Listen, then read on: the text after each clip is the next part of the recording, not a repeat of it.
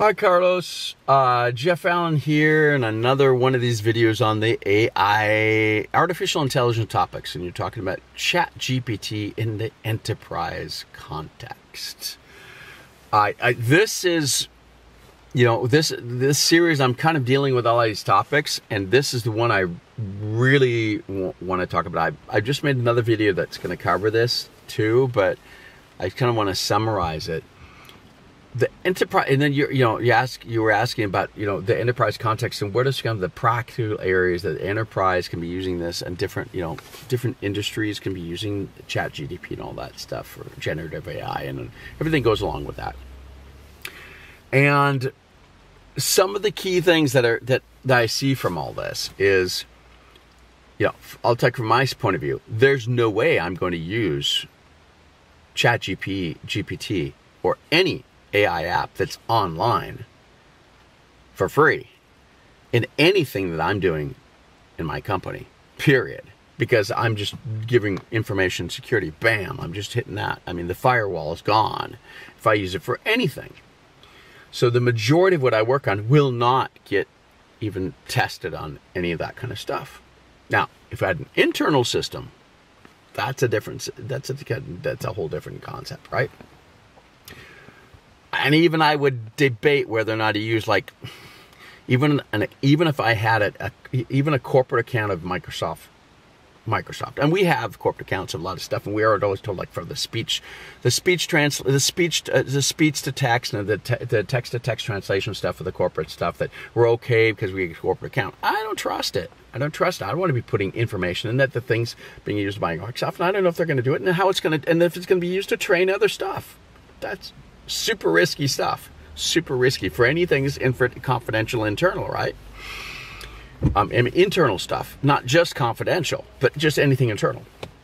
Because once you once you get sucked up, once it gets used, once it gets re-implemented or reused to be able to test the systems, then you don't know where it can go, right? And this is when you've got some pretty unique things you're working on, which I have a few of those. I don't want to be appearing anywhere, right? So for the for the whole enterprise context, this is it's so care you've got to be so careful about information security. And you got to think about, you know, what's going to be feasible and viable. And I've been talking about this. Everything's desirable. It's desirability is simple to, you know, to, to deal with. Um, but it really is where can we uh, be using this in ways that are not going to be giving information away to our competitors. This is key. And not be generating things that could allow, again, could allow the system to do it and then give it away. And, and, and I don't want to have an idea, do some, use some things. It gets, it gets, generate some things and I have it. And I, then it gets memorized, you know, machine learning, and then bam, my idea is out there now for to regenerate automatically for everybody else. No way, no way. Um, so I mean, this is the whole thing when it's interactive too, right? So there are things where I can see that this could be very useful. Uh, I think in the enterprise context, some things that could be useful for are things that are not, you know, not confident, not let's uh, what's the word for this? I can't remember this. Um, uh, darn, I can't remember the word for this. Trade secrets, right? That is what it is. Trade secrets. Anything is trade secrets. Don't you know? Nothing is that. That. Any of that. Nothing that you want to have. But other types of things, of any kinds of general, common workflows, common things that we'd be doing, uh, trying to generate task lists for how to, you know, task list of, uh, okay okay here's one that i would use it for that would actually happened yesterday. Um in a music store where uh for lunch i go there often so that all the employees and i happen to be there sometime a lot so while they're eating so i'll you know jump for coffee. But i didn't know how to use the coffee pot or actually the tea the tea thing because it didn't it didn't quite work the way that it, it wasn't intuitive. And I said, well, where's the where's the user guide of this thing? I'm kind of joking because the, the the off the the owner of the music store always says, read the manual, right? Read the manual, RTFM, of the pedal or something or whatever to know how it works, right? And so sometimes I pull out a joke from time, and I, and I said to him yeah, I said, hey, your tea kettle, where's the manual? Where's the user guide? You don't have one. So it kind of got him in that. But then, and so what it was, what was really interesting was that this is the kind of thing that I would use generative AI with, ChatGTP or whatever you want, to create a user guide on how to use a tea kettle, right? okay? And then modify it. Or how to use, you know, or how to use the coffee pot if it's not intuitive. That I would use for. And you could use that for everybody in the company, right? I mean, that this is something that has no intrinsic value to the company, right? All it's doing is help people do some a task that is something that's not intuitive, right? Uh, that would be fine. I'm just trying to think of or like security, security stuff of how to how to create a security guide for when you have a fire, right? So fire a fire alarm.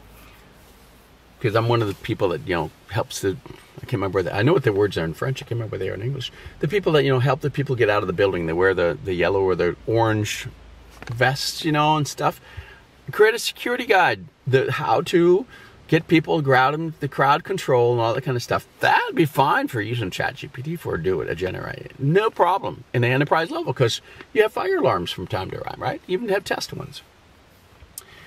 And uh, and actually, I just remember I saying that one because this last week they were saying, "Hey, we just had the test alarm and we didn't." Uh, and there weren't enough people that had the vest wearing the vest to be able to guide the people, so we want to kind of check with that and. So, hey, make a guide, you know, make a generate a guide with it, you know, that's fine, easy to do.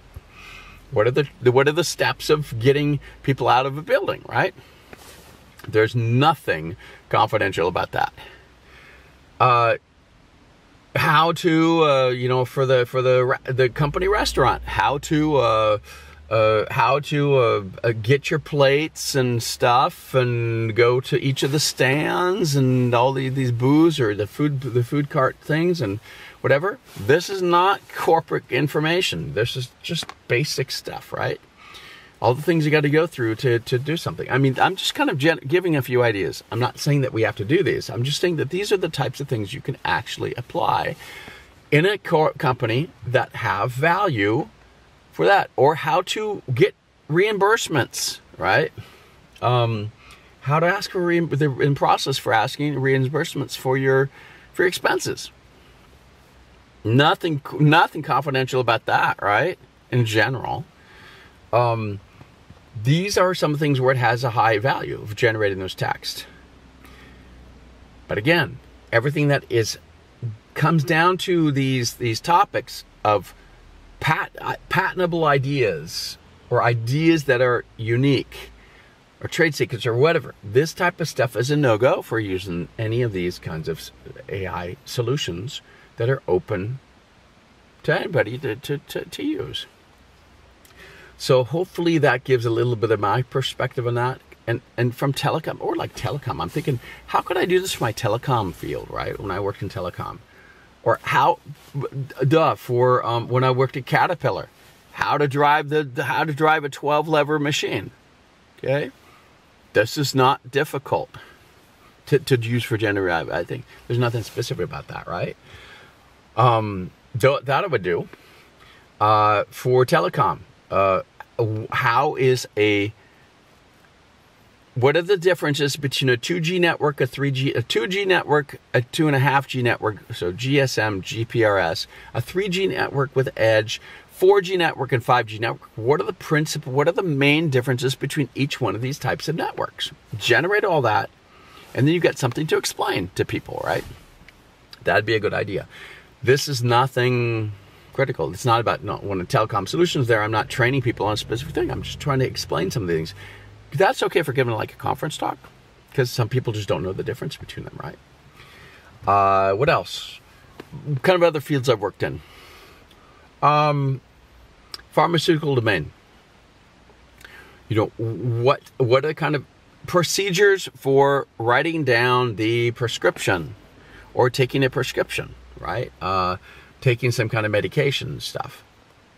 That could be you got to check it because it could kill people if you give them the wrong prescription, right? But uh, this, uh, that's happened to me. I had I think somebody didn't write the pharmacist didn't write down the stuff uh, correctly or didn't reconvert it, and so it kind of made me pretty sick. But using these kinds of steps to generate things and validate it, that would be fine. That'd be fine. Just going to make sure that the facts are correct, right? So those are a few of my ideas. Uh, I've got plenty more, but I just want to show that it's possible to to show what is what is valuable, what has business value for certain industries, and what it doesn't. Uh, and you know how could we do this in an enterprise context? Uh, be careful. It's my my my main my main caveat in all this. Stuff. Just be careful for information security reasons, for for uh, confidentiality, for you know information breaches. That's not cool. Um, and uh, and you business value. What is what is it is going to be valuable or not? Um, just it's not just because sexy. It's going to work, right? Thanks so much.